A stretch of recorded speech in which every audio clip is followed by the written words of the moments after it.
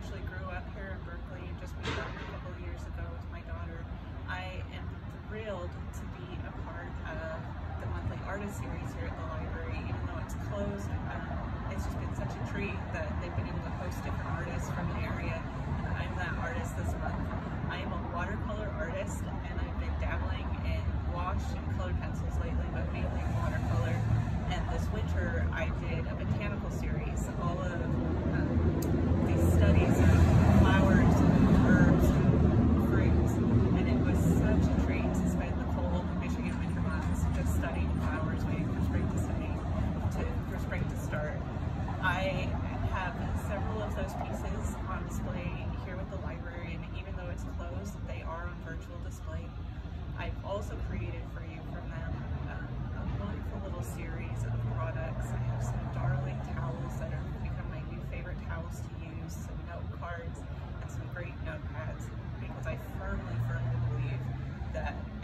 should be beautiful.